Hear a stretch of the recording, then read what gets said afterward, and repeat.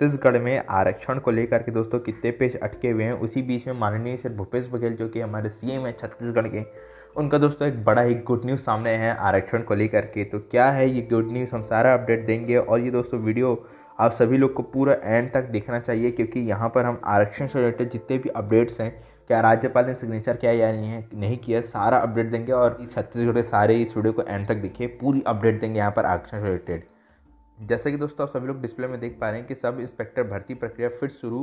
होगी। युवा दिवस पर माननीय श्री मुख्यमंत्री भूपेश बघेल जी ने यहाँ पर घोषणा की है और आरक्षण रद्द होने के बाद दोस्तों टाली गई थी ये परीक्षा। ठीक है तो चलिए यहाँ पर देखते हैं और अपडेट तो नौ सौ इकहत्तर पदों पर होगी, होनी है दोस्तों भर्तियाँ। छत्तीसगढ़ पुलिस में दोस्तों सब इंस्पेक्टर की भर्ती प्रक्रिया से शुरू हो गई और मुख्यमंत्री माननीय श्री भूपेश बघेल दोस्तों युवा दिवस के मौके पर अधिकारियों को दोस्तों, भर्ती प्रक्रिया फिर से शुरू करने के यहाँ पर दिशा निर्देश दिए हैं और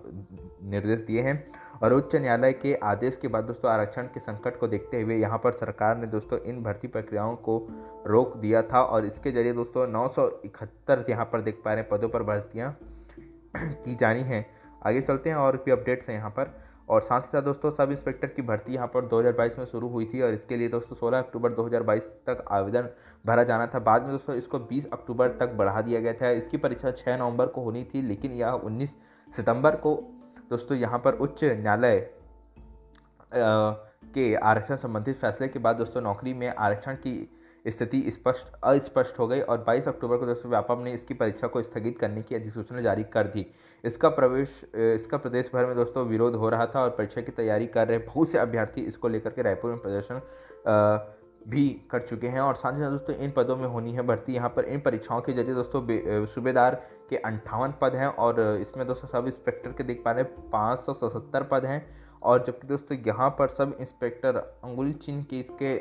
छः पद हैं और सब इंस्पेक्टर यहाँ पर प्रश्नाधीन दस्तावेज़ यहाँ पर तीन पद हैं और यहाँ पर देख पा रहे सब इंस्पेक्टर कंप्यूटर, है ना? और सब इंस्पेक्टर दूरसंचार के यहाँ पर दोस्तों नौ पद और सब इंस्पेक्टर स्पेशल ब्रांच के सिक्सटी नाइन मतलब उनहत्तर पद और प्लाटून कमांडर के यहाँ दो सौ चौहत्तर भर्ती होनी है, ठीक है?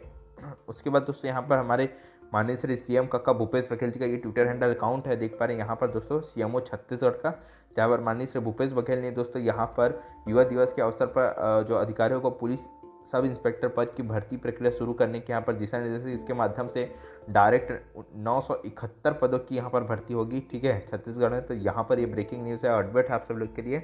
तो बस इस वीडियो में इतने अपडेट आई होप ये वीडियो आपको पसंद आया वीडियो पसंद आया वीडियो को लाइक करिएगा। और दोस्तों, आरक्षण के पेज अभी भी ये अटके हुए हैं और राज्यपाल जी का हस्ताक्षर अभी तक नहीं हुआ है। आने वाले कुछ दिनों में देखते हैं हो पाएगा या नहीं। अपडेट्स कंटिन्यू हमारे चैनल पर आ रहे हैं तो चैनल को सब्सक्राइब करके, वीडियो को लाइक करके शेयर करना मत भूलिएगा। मिलते हैं नेक्स्ट वीडियो में।